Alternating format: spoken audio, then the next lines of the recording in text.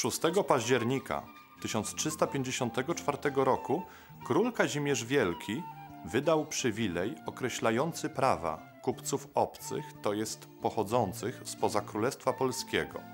Zapisano w nim, że przybysze mogli sprzedawać swoje towary tylko kupcom krakowskim bądź pochodzącym z innych miast królestwa.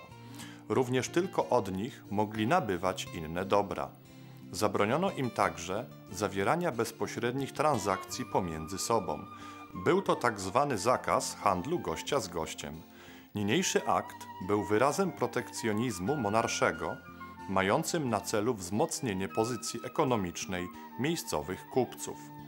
Potwierdzał rolę Krakowa jako ośrodka dalekosiężnej wymiany handlowej oraz obecność w mieście przybyszów z odległych stron.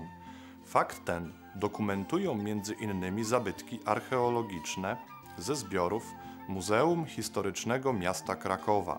Są to ołowiane plomby, jakimi znakowano sukno trafiające w XIV wieku na rynek krakowski z ośrodków produkcyjnych we Flandrii.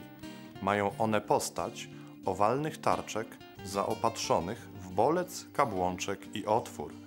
Dzięki elastyczności surowca, z którego je wykonano, można było je zaciskać przy pomocy szczypiec na odpowiednio złożonym materiale. Tak opieczętowana tkanina zyskiwała certyfikat jakości oraz zgodności z deklarowaną przez kupca wartością. Tym samym dopuszczano ją do sprzedaży. Pochodzenie trafiającego do Krakowa sukna pozwalają dziś określić czytelne na plombach symbole heraldyczne i napisy. Stąd wiemy, że niektóre tkaniny do krakowskich sukiennic trafiły z odległych o ponad 1200 km flandryjskich miast Brugi i Gandawy.